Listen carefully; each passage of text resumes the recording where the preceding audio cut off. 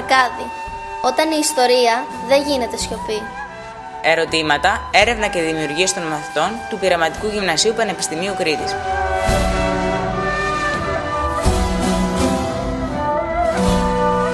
Η εκδήλωση θα πραγματοποιηθεί στο σπίτι του πολιτισμού το Σάββατο 19 Νοεμβρίου και ώρα 7 το απόγευμα. Στο πλαίσιο των εορτασμών τιμής και μνήμης για τα 150 χρόνια από το ολοκαύτωμα του Αρκαδίου.